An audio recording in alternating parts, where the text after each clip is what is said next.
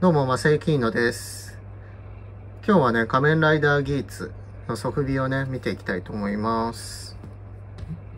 リバイスからね、新しく変わってギーツが始まります。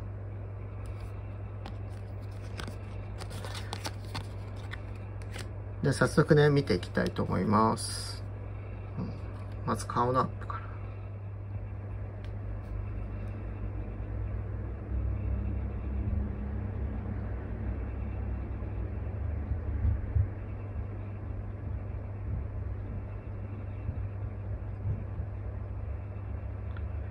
本当にね、狐みたいでかっこいいよね。で、色が黒、白、赤で単色でシンプルで結構好きですね。うん。で、アーマーがあって。で、この斜めのラインが、線があって、で、ここのベルトは塗装されてないですけど、ここにブーストのやつをつけると、こっちから足は、足のホームチェンジなのかな？うん。で、マフラーも塗装されてないけど、かっこいいね。うん。で、上が白で、かな？うん。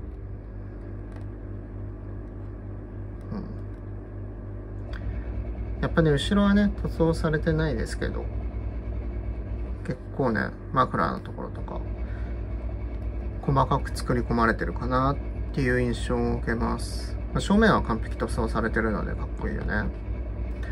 まあ、あとはまあ自分でやるしかないとは思うんですけど、このままでもね、かっこいいかなっていう印象です。ソフビで結構出来はいいのかなっていうところですね。うん。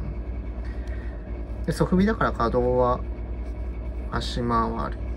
この腰のね、のところと腕が回って。で首は動かないですね。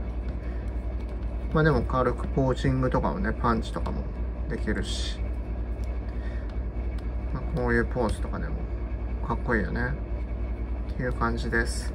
今回ねギーツになってからなんかサイズが変更されたのかあれなんですけどちょっと仮面ライダーの前のデバイスの底火がないんで比較すると前のこれぐらいの大きさのやつだった。どうも桃太郎と同じぐらいの。で今回がサイズがちょっと変わってこんな感じですね。結構なんかちっちゃいけど。うん。その分なんか塗装とか出来はなんかすごくかっこいい風に見えるかなっていう印象が受けました。このサイズだとねちょっと今ねウルトラマンシリーズと同じなんだよね。うん。どうもまたでかいね。うん。ウルトラマン Z。うん。サイズがね、全く同じなんだよ。うん。ウルトラマン Z も。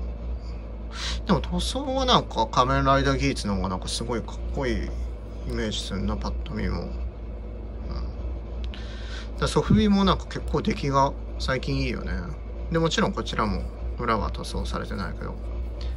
小さくなった分なんか見栄えが良くなったのかな。っていう感じがすごいしますね。うん。これだったらね小さくてコスト的にもね少し安くなるのでコレクションとしてもなんかねしていきたいなっていうのは今回ギーツのねこれ見て思いました。かな？っていう感じかな。